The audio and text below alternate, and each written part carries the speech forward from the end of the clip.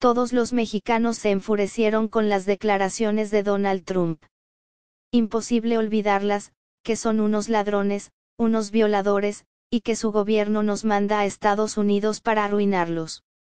Su paranoia nos ofende porque algo muy cierto, muchos gringos piensan igual. Pero aunque nos molestó, alguien hizo algo al respecto. Samuel Mercado sí. Samuel es un chico residente en Sonora, México. Asiste al Covach.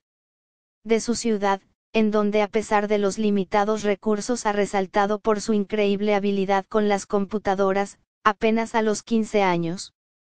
Igual que muchos otros chicos de su ciudad, muchos de sus familiares, tíos, primos y un hermano mayor, se fueron a Estados Unidos a buscar trabajo, él sabe que son buenas personas, y al escuchar las declaraciones de Trump no pudo más que enojarse, e intentar humillarlo de la misma forma que él humilló a su gente.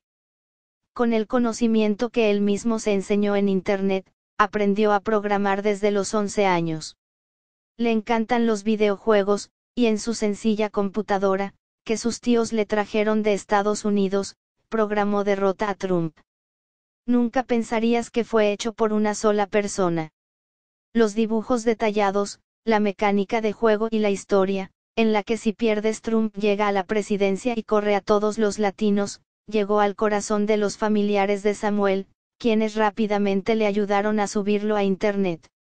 El juego se hizo viral rápidamente en Arizona, donde viven los familiares de Samuel, y poco a poco tiene más descargas de las que su creador jamás esperó.